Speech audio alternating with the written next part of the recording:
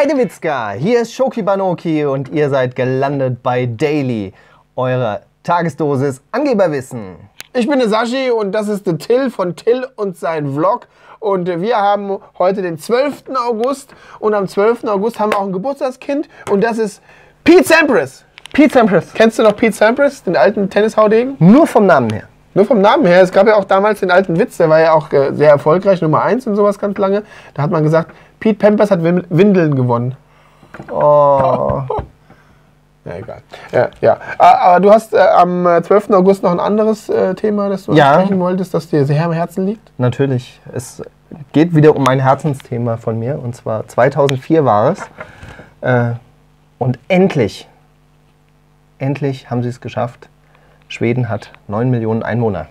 Seit Ach so, seit 2004, 2004. seit 2004 haben sie 9 Ja. Millionen Einwohner. Ja, wurde ja auch Zeit. Das wurde echt Zeit. Ist ja so viel Land und, und keine Leute.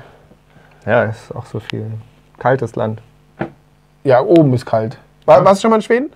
Ja. Ja. Wie oft? Einmal. Wo?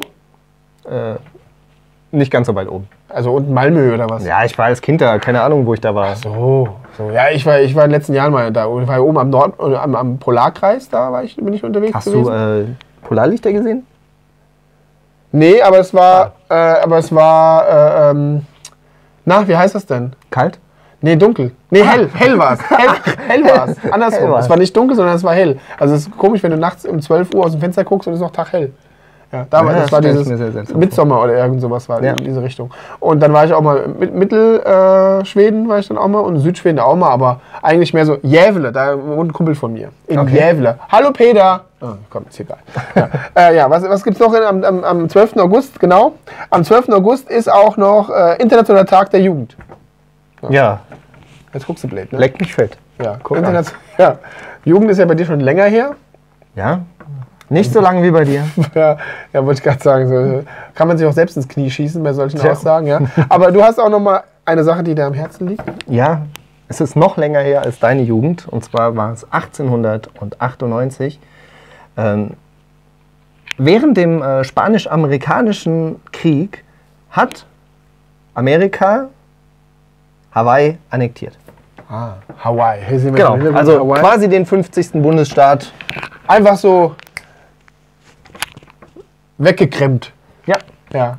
Verstehst du? jetzt überleg mal, es wäre Verstehst noch du? Spanisch. Was wir dann? Ja, es wäre dann wahrscheinlich so wie Mallorca.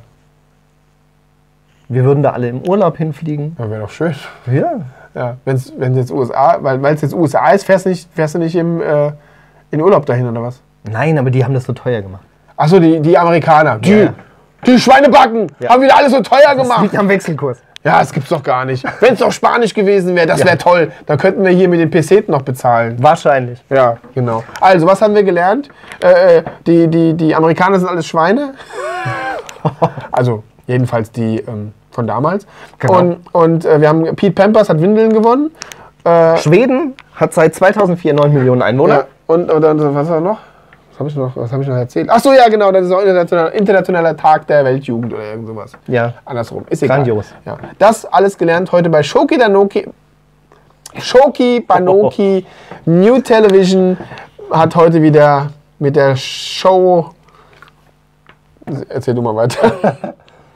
Genau. Das war eure Tagesdosis. Morgen geht's weiter, wenn der junge Mann hier neben mir wieder nüchtern ist. Irgendwann merkt man das auch, ne? Das ist komisch, ne? Und dann mit einem anderen Gastredner.